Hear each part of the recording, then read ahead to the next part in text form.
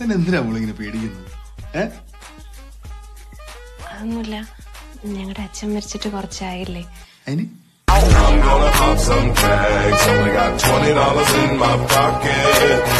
നീ ഇങ്ങനെ ഒരു ഉത്തരവാദിത്വമില്ലാതെ വെടിയും വെച്ചോണ്ട് നടന്നോ? നിന്റെ പ്രായത്തിൽ എനിക്ക് പിള്ളേര് രണ്ടറിയോ?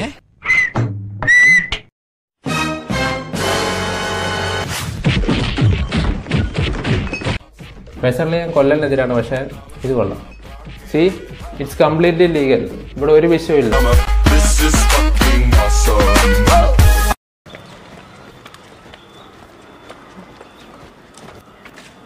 പെൺകുട്ടിയെ നോക്കിയായിരുന്നോ? ഇല്ല. ചേട്ടൻ നോക്കിയെങ്കിൽ നോക്കിയെന്ന് പറഞ്ഞോ? ഞാനൊരു പെൺകുട്ടിയല്ലേ. സൗന്ദര്യമൊക്കെ ആസ്വദിക്കാണല്ലേ സത്യസന്ധമായി പറഞ്ഞു. നോക്കിയായിരുന്നു? ആ വരട്ടെ. നിങ്ങൾ പറ. നോക്കി. ഇനി ഞാൻ പെൺപിള്ളേരെ നോക്കാനും പാടില്ല. പിന്നെ ഇതുപോലെ സത്യസന്ധനാവാനും പാടില്ല. മനസ്സിലായോ? മനസ്സിലായി വരുന്നു.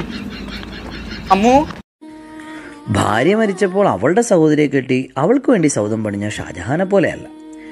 രാധയെ തനിച്ചാക്കി പോയ കൃഷ്ണനെ പോലെയും അല്ല പത്ത് പേരുടെ വാക്ക് കേട്ട് സീതയെ കാട്ടിൽ ഉപേക്ഷിച്ച രാമനെ പോലെയും അല്ല പകരം പകരം പരമശിവനെ പോലെ പ്രണയിക്കണം. തന്നിലെ പാതിയെ തിരിച്ചറിഞ്ഞ താനില്ലെങ്കിൽ അവളോ അവളില്ലെങ്കിൽ താനോ ഇല്ലെന്ന് പറഞ്ഞ പരമശിവനെ പോലെ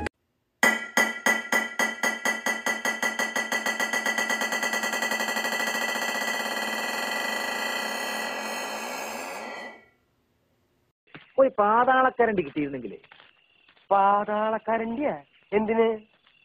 അല്ല വേണമെന്നില്ല നമുക്ക് കിണറ്റിൽ ഇറങ്ങിക്കളയാം അല്ല മാടമ്പിള്ളിയിലെ താക്കോലെടുക്കാൻ നീ എന്തിനാ ദാസപ്പാ കിണറ്റിൽ ഇറങ്ങണേ? മാടമ്പിള്ളിയിലെ താക്കോൽ? അപ്പൊ തൊട്ടി എടുക്കണ്ടേ? എടാ നിങ്ങളെ രണ്ടുപേരെയും പറ്റി ഞാൻ ചില ന്യൂസ് ഒക്കെ കേട്ടല്ലോ. എന്ത് ന്യൂസ്? നിങ്ങളും ആ അമ്മണിയമ്മയുടെ മക്കളുമായിട്ട് അതിന്റെ സ്നേഹമാണെന്നോ പ്രേമമാണെന്നോ ഒക്കെ.